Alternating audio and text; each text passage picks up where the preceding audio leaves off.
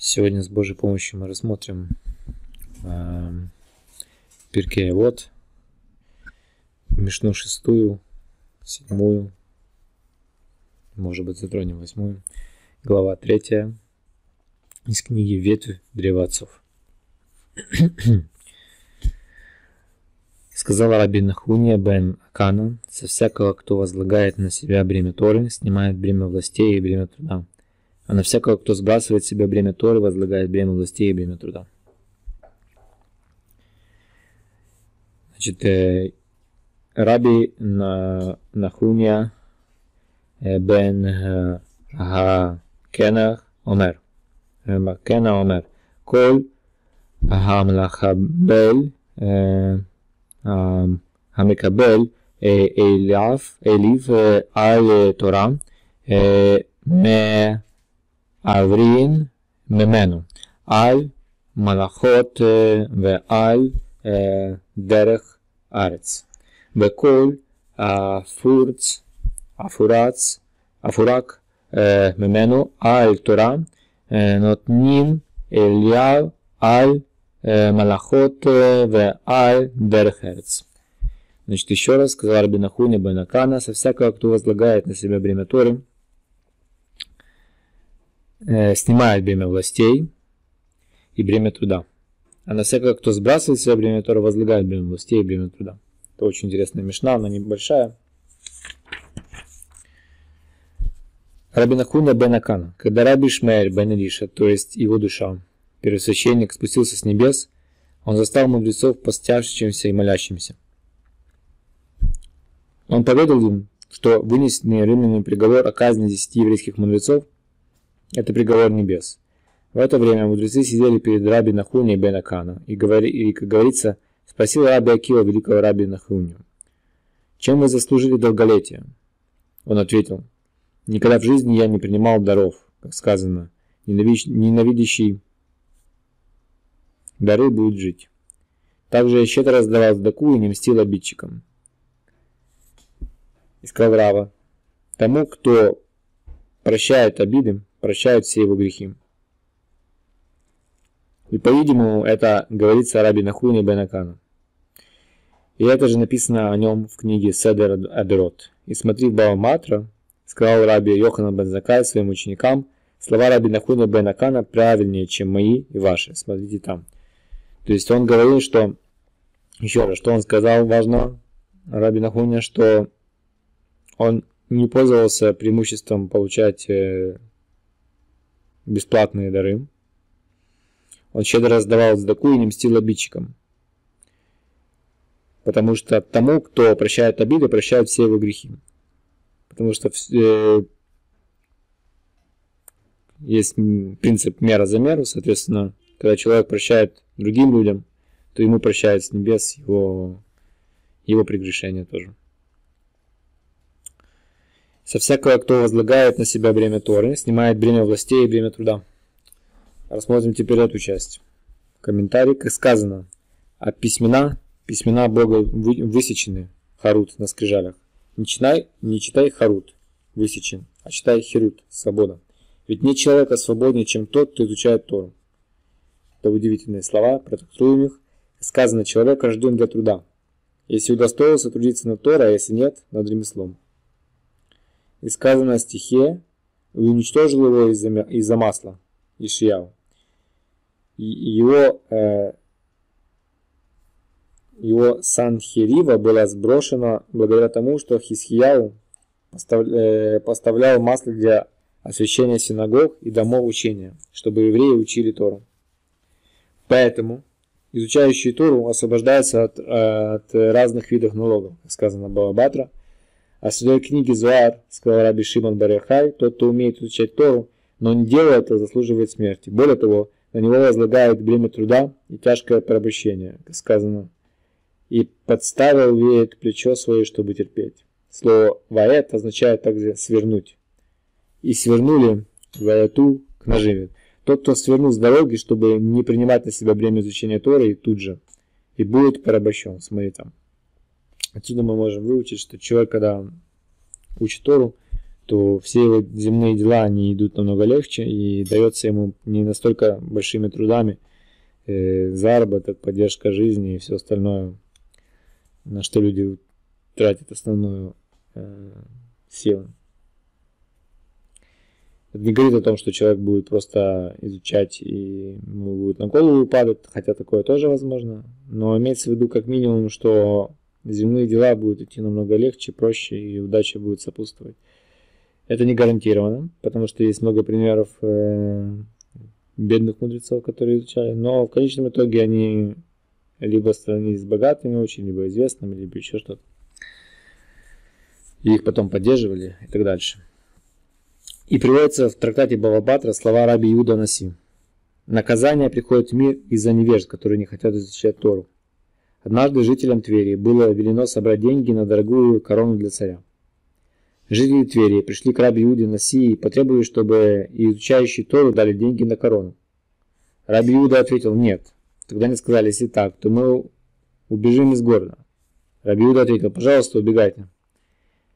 Половина жителей бежала из города. Власти уведомили оставшихся, что они должны заплатить половину суммы за корону.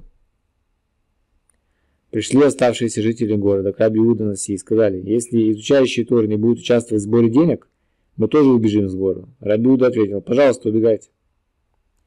Все оставшиеся еврейские жители Твери бежали. И в городе осталось только изучающие Тору. Тогда пришло уведомление от властей, что царь решил отменить сбор денег, и они не должны ничего платить. Рабиуда Наси сказал, видите, наказание приходит в мир из-за невежд, которые не хотят изучать Тору. Интересная история.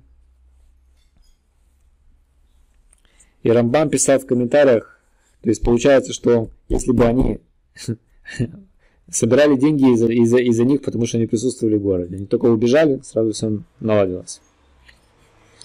Ну, это шутка или не шутка, я не берусь судить, но, в общем, получается так по, по этой ситуации. И Рамбам писал в комментарии к Мишне вот, что Тора облегчила тяготы изучающих ее, и по ее закону они освобождены от разных видов налогов, муниципального, военного и э, подушного. Эти налоги и расходы на возведение стен города община должна платить за них. И даже если изучающий Тору зажиточен, он все равно освобожден от налогов. Наши учитель раби Йосифа Алеви бен э, Мигаша спросили об одном мудреце Тору, у которого были огороды и сады. Его налоги исчислялись тысячами золотых. А ответил, что этот человек освобожден от всех вышеперечисленных налогов, поскольку изучает Тору. Это такой же закон Торы, как тот, который освобождает коинов от уплаты половины шекеля на расходы храма. Окей, в Мидраш Танхума рассказывается об одном коине, который проверял кожные поражения Негием и был знатоком их видов и названий. Его доход уменьшился, и он собрался отправляться за границу в поисках заработка. Сначала он обратился к жене, поскольку люди привыкли приходить ко мне с, кожным, с кожными поражениями. Давай я научу тебя их, их распознавать, чтобы ты могла этим заниматься в моем отсутствии. Если увидишь, что волос человека иссох, знай, что он поражен. Ведь каждому волоску Всевышний создал свой источник питания. Жена сказала ему, если каждому волоску Всевышний создал свой источник пропитания, то уж тем более он даст пропитание тебе, ведь ты был создан по его образу и подобию. Не изучая Тору, и должен кормить своих детей. Тот Коэн передумал и не стал покидать землю Израиля. Хорошая история. Мудрая жена. Окей. То есть мы видим, какой мы вывод из этого все делаем, что человек, который изучает Тору, все ему дела даются проще, легче, с небес ему помогает и так дальше. Во всяком случае, это видно и не только из историй древних, но и современности тоже снимает бремя властей. Значит, что это означает? Во время Первой мировой войны ученики Ешивы пришли к великому Хефецхайму, чтобы узнать, что с ним будет, удастся ли им получить освобождение от армии. Хефецхайм ответил, дети мои, помните сказанное мудрецом в Мишне вот. Со всякого, кто возлагает на себя бремя Торы, снимает бремя властей. Вы можете возразить, в таком случае все учащиеся Ешив должны быть освобождены от армии. Почему же мы видим, что некоторые из них забирают, пусть даже временно? Ответ таков. С небес с человеком поступает по принципу мера за меру. Все зависит от того, насколько твердо он принимает на себя бремя Тора. С того, кто уверен в своем выборе, твердо следует ему и усердно учиться, полностью снимает бремя властей. Но если человек не очень усерд... усердствует и не тверд в своем решении учить Тору и принять ее бременно у него э, и принятие ее бремени у него слабо, то и бремя властей снимают с него не полностью. И на какое-то время его все же посылают на армейскую службу. Твердость снятия бремени властей зависит от твердости принятия бремени Тора. Если человек полностью и твердо принимает на себя бремя Тора, то и освобождение от армии будет полным. Комментарий на следующую часть. А на всякого, кто сбрасывает себя бремя Торы, возлагает бремя властей и бремя труда. И так сказано в Иерусалимском Талмуде в Рошашана о стихе «И воинство будет послано на жертву Тамид, за преступление будет правда сброшена на землю». Даниэль. Войско – это ангелы народов мира. Сказано, повелит Бог небесного воинства на небесах. А Тамид – это еврейский народ, который должен постоянно Тамид, днем и ночью заниматься Торой. За преступление по отношению к Торе будет правда сброшена на землю. Правда – это Тора, как сказано, купи правду и не продавай мудрость, наставление и знания. Когда евреи бросают слова Торы на землю, власти строят против них козни и преуспевают. И сказано, оставил Израиль добро, будет преследовать его враг. Оше. Добро это Тора. Как сказано, ведь учение добро, дал я вам Тору мою, не оставляйте. Итак, сказал Раби Шимон Барьяхай, если видишь, что селения в Израиле разрушены, знай, это из-за того, что не содержали изучающих Тору и Мишну. Как сказано, за что пропала земля? И сказал Бог, за то, что оставили мою Тору, Иерусалимский Талмуд. И приводится в трактате Брахот слова Раби Шимона. Когда евреи выполняют э, волю Творца, их работа выполняется другими. Как сказано, и встанет чужие, и будет пасти ваш скот. То есть, когда евреи выполняют, э, когда выполняют волю Творца, их работа выполняется другими людьми. А когда евреи не выполняют волю Творца, когда они не полностью праведны, э, комментарий Тософота, им самим приходится выполнять свою работу. Как сказано, и соберешь урожай свой. Более того, им приходится также выполнять работу других, как сказано, и будешь служить своим врагам. Это было Мишна 6. Еще раз кратко пройдемся по главным принципам этой Мишны. Значит, э, сказал Раби Нахуня Бен Аканас, всякого, кто возлагает на себя бремя Торы, снимает бремя властей и бремя труда. А на всякого, кто сбрасывает себе бремя Торы, возлагает бремя властей и бремя труда. То есть из этой мишны мы видим разные примеры того, как человек, если он учится э, Торе, соблюдает, идет, э, возвышается, тогда ему э, различные, скажем так, в кавычках, сложности этого мира, они даются проще. Тот, кто, ну, имеется в виду там время властей, там налоги, там заработок и все остальное. А тот, кто скидывает себя и только уходит в это, тогда ему э, сложнее дается все остальное. Это, это, это очень кратко, конечно, но основное мы прочитали. Итак, Мишна 7. Раби, э, сказал Раби э, Халафта, Бендоса из Кавар Ханания. Когда десятеро сидят и учат Тору, среди них пребывает шхина. Как сказано, Бог находится в общине Божьей. Откуда мы учим, что Шкина пребывает среди пятерых учащихся? Сказано, союз свой создал на земле. Откуда мы учим, что Шкина пребывает и среди трех учащихся? Сказано, среди судей судить будет. Ну, потому что три судьи в Бадине. Откуда мы учим, что Шкина пребывает и среди двух учащихся? Сказано, как тогда говорили между собой боящиеся Бога, и внимал Бог и услышал. Откуда мы учим, что Шхина пребывает и с одним изучающим Тору? Сказано, Всюду, где я разрешу упомянуть мое имя, я явлюсь тебе и благословлю тебя. Ну, это считается длинная мечта, но на комментарий на нее очень короткий. В принципе, тут ясно, что если не можно учить э, с десятьми, то хотя бы надо учить одному. Иврит. Раби Хали, Халифат Халафта бен э, Йоса бен Доса э, Иш э, Кфар חרניה אומר, עשרה עשרה שישבין ועסקים בתורה, שכינה,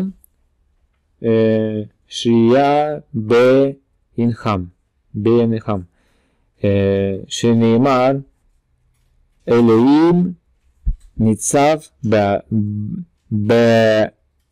בצדת על, בעדת על. נמנין אפילו חמישה, откуда мы знаем, что даже пять дней, שנאמר ואגדתו על ארץ יסדה, יסדה, ומנין אפילו э, шлаша, откуда мы знаем, что даже три, э, э, Шенеймар, что, как сказано, э, цитаты из э, Торы, э, Бакаров Элеим э, Ишпат. В Минайн Афилу Шаним.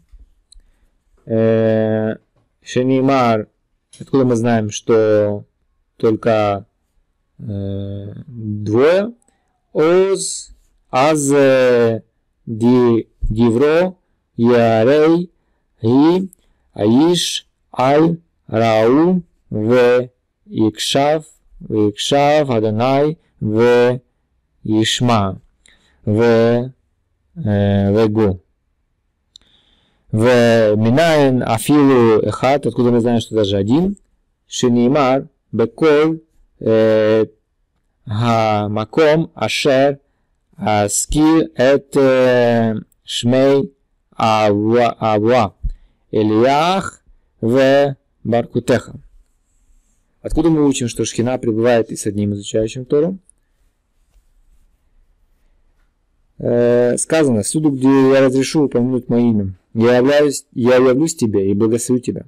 И вот что написано в Святой книге Зуар, сказал Раби Лизар, как приятно Тора Всевышнему. Всюду, где слышны ее слова, Всевышний и все его воинство слушают, как их произносят. И он, благословенный, приходит в жизнь, жить в доме этого человека. Как сказано, всюду, где я разрешу упомянуть мое имя, я явлюсь тебе и благословю тебя. Имеется в виду, что слова Торы – это имена Творца. И не только это, но все враги падают перед ним и так далее. Смотри там. И так приводится в трактате Брахот, сказал Раби Шимон, враги падут перед каждым, кто устанавливает себе постоянное место для изучения Тора. Как сказано, и установлю я место для моего народа, Израиля, и поселю его там, и буду жить в покое, и не будет больше метаться, и не будет больше нечестивцы мучить его, как раньше.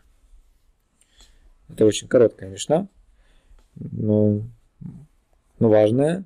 Значит, отсюда мы можем сделать вывод, что 10 это хорошо, 5 это тоже хорошо, 3 это тоже, 2 и даже 1 это тоже хорошо. Главное это учиться, вне зависимости от обстоятельств, ну, э, и тогда Ашкина будет пребывать с таким человеком. Окей, Мишна 8, глава 3. Сказал раб Элизар из э, Бартоты, дай ему, из принадлежащего ему, ведь ты и все твое принадлежите ему. Еще сказал от имени царя Давида, ведь все от тебя и из твоей руки дали мы тебе. Раби Элиезер Иш э, Бартута Бартота Омер Тен Ло э, Мишело Шаата Вешельха Шело Векан בדוד, בדוד הוא אומר, כי ממך, אה, סליחה, וכאן בדוד הוא אומר, כי ממך הכל ומידיך נתנו לך. Сказал Рабелизар из Бартоты, дай ему из принадлежащего ему, ведь ты и все твое принадлежит ему. И еще сказал от имени царя Давида, ведь все от тебя из твоей руки дали мы тебе. Очень, очень кратко тут видно, что это мечта о том, что все от Всевышнего и что нужно э, понимать это во всех своих делах. Но просмотрим более подробные комментарии. Значит, сказал Раби Лизар из Бартоты, дай ему из принадлежащего ему. Рашбат списал в книге Маганавод, как замечательные слова, выходящие из уст тех, кто сам их выполняет. Как замечательные слова, выходящие из уст тех, кто сам их выполняет. Окей, это из э, трактата Евамот. Ведь этот мудрец упоминается в Перкей де Хасидей. Сборщики сдаки убегали от него, потому что он отдавал им все деньги, которые у него были в тот момент. Рассказывали, что однажды он отправился покупать необходимое для свадьбы дочери. Сборщики сдаки увидели его и спрятались. Он стал искать их, побежал за ними и стал просить, прошу вас, скажите, э, для какой цели вы сейчас собираете деньги? Они ответили на женитьбу сирот. Раби Лазар сказал им, Элазар, Раби Лазар сказал им, их свадьба важнее свадьбы моей дочери. Взял все, что у него было, отдал все им, оставив в кармане один динар. На него он купил домой пшеницу и положил в сарай. Его жена сказала дочери, пойди посмотри, что принес твой отец. Дочь ответила, все, что отец принес, он положил в сарай. Она хотела открыть дверь сарая и обнаружила, что он полон пшеницы, так, так что налитые колосья высыпаются из-под двери. Дочь пошла к отцу и сказала, иди и посмотри, что сделал для тебя Всевышний из любви к тебе.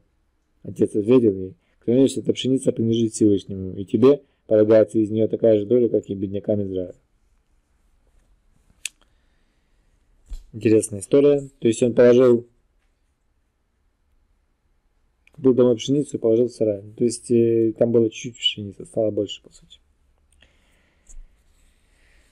Дай ему из принадлежащего ему. Это а, Раби Лизари, это кто, это, а, это автор этого, этой. Что, насколько он был благочестивый. То есть это не просто он писал какие-то слова, он исполнял то, что он говорил. На этом примере видно. Ну и все, все мишнайот, которые написаны э, в Талмуде, они, все, кто это писал, они уже это исполняли, иначе бы они это не, не, не писали, не говорили бы. Да ему из принадлежащего ему. Псикта. Приводит слова Раби Танхума. Сказано, почти Бога и своего богатства. Мишлей. Это э, урывок из Мишлей. Почти Бога и своего богатства. Сказал Всевышний, я не прошу, чтобы ты почтил меня твоими деньгами, а прошу, чтобы почтил моими. Видите, как интересно получается, что сказал Всевышний, я не прошу, чтобы ты почтил меня твоими деньгами. Я прошу тебя, чтобы ты почтил моими. Почти Всевышнего из того, что Он дал тебе. Потому что все от Всевышнего, из этой мишны видно. И так сказано, кто дал мне первым деньги, чтобы я должен был ему заплатить? Иов. Кто обрезал сына раньше, чем я дал ему его? Кто установил мезузу и построил ограждение на крыше до того, как я дал ему дом? Кто отделил первенцев скота и выделил шерсть первой стрижки до того, как получил от меня скот? Кто возносил мне хвалу до того, как я сделал ему чудеса? Я попросил тебя принести жертву, но не думай, что я прошу из твоего. Ведь сказано, бык, овца или коза, когда родятся. Когда я тебе их дам, принеси их мне. Отдели десятину от своего урожая поля твоего. Когда я дам тебе урожай в поле из года в год, что означает от всего, даже от денег, которые я тебе дам, отдели десятину. Отсюда видно, что ничего не принадлежит на самом деле человеку, все от Бога. И поэтому человек не дает э, сдаку э, от своих денег и не зарабатывает свои деньги. А это все имущество, все. Короче, все от Всевышнего. А то свод приводит сказанное в цифре от всего урожая поля твоего. Здесь говорится о, деся, э, о десятине с урожая. Откуда известно, что следует отделить десятину также от прибыли за торговлю и от других доходов? Сказано от всего. У одного богатого человека было поле, которое приносило урожай тысяча мер пшеницы. Этот человек каждый год в течение всей жизни отделял от него 100 мер десятины. Когда он был при смерти, он позвал себе сына и сказал ему, Сын мой, знай, что это поле, которое оставляю тебе в наследство, приносит каждый год урожай в тысяча мер. Тщательно следи за тем, чтобы каждый год отделять 100 мер десятины, как это делал я. Тут человек ушел, его сын наследовал поле. Он принес, и он, оно принесло урожай тысячу мер, как и его отцу, и сын наделил 100 мер десятину. На второй год сын решил, что десятина была слишком большой, а отделил только 90 мер. На следующий год поле принесло только 900 мер урожая. и он решил уменьшить десятину до 80 мер. На следующий год и урожай уменьшился до, 8, до 800 мер.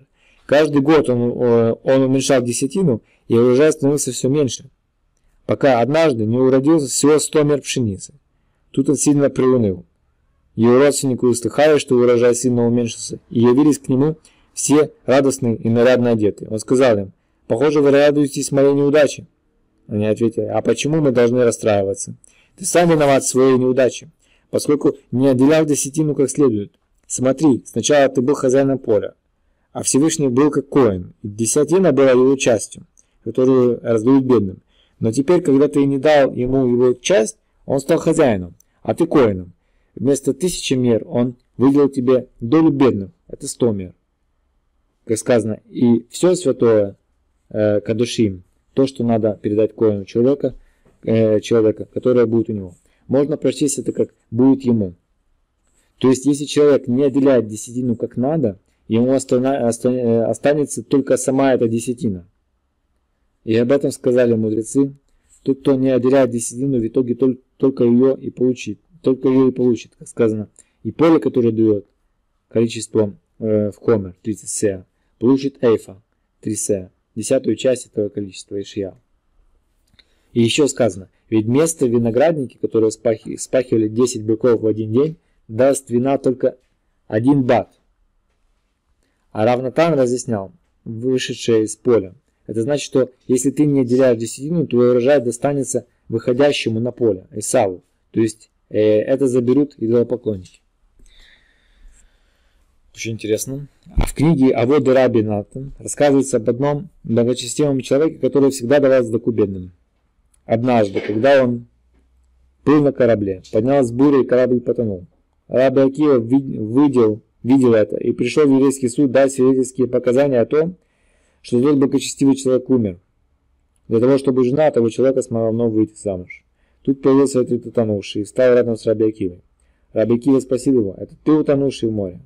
Тот ответил, да, но заслугу сдаки, которую я давал, я был вытащен из морских глубин. Раби Акива спросил, откуда ты знаешь, что именно за заслугу Дезваки? Тот ответил, когда я тонул в глубине моря, я услышал громкий гул волн, и одна говорила другой. Скорее, давайте поднимем этого человека из глубин и вынесем на сушу, ведь он всю жизнь давал много денег на сдаку. Тогда Раби Акива сказал, благословен Всевышний, который избрал Тору, заповеди и слова мудрецов, и все это будет существовать вечно. Сказано, пусти хлеб свой по воде, и через многие дни найдешь его. И сказано, Сдака спасает от смерти. Дай ему из принадлежащего ему, ну отсюда мы в общем выучили, да, что тот, кто не дает сдаки, то тому будет потом сдака как его доход, если, если кратко. Дай ему из принадлежащего ему цветы, и все твое принадлежите, принадлежите ему.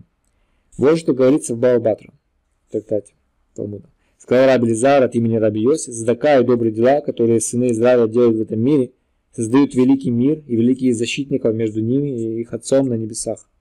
Сказано, «Ведь забрал я мир свой у этого народа». Сказал Бог, добро и милосердие. Раша разъяснял, что означает мир. Добро и милосердие, которое делает сыны Израиля, и Бог забрал свой мир. Однажды, когда наш учитель Аризаль сидел со своими учениками и изучал тайны Торы, он вдруг прервал учебу и сказал, «Благословен творящий истинный суд». Я слышу голос, выходящий из небесного суда, который провозглашает, «Приговор этот вынесен по решению высшего небесного суда». Это цитата из Даниэля. «Прибудет, прибудет несметное количество саранчи и осядет вокруг цфата. И они уничтожат все растения на земле и все плоды деревьев и весь урожай. Не останется пропитания людям, живущим там, потому что не обратили внимания на бедняка-мудреца и праведника Рава, Якова, Альтерца, которого нечего есть. И он как будто в претензии на Всевышнего, из-за того, что у него ничего не осталось, и никто не заботится о нем и не проявляет милосердия. А Всевышний не может молчать, глядя на мучение этого бедняка. И гневается на жителей Цфата за то, что они не обращают на него внимания и не помогают ему. Поэтому закончил Аризаль, давайте, братья мои, соберем деньги, кто сколько может дать, и один из учащихся Ешивы купит продукты, хлеб и еще что-нибудь, чтобы голодный смог поесть. Оставшиеся деньги отдадим самому бедняку, пусть купит на них все, что пожелает. Один из учеников Резаля, Раби Ицхак Коэн, взял собранные деньги, поспешил купить продукты и побежал в дом Рава Якова. Он нашел его лежащим на полу и оплакивающим свою горькую долю. Ученый бедняк зарабатывал тем, что черпал воду, набирал ее в глиняные кувшины и разносил людям. Но в то утро кувшины выпали у него из рук и разбились, оставив его без пропитания.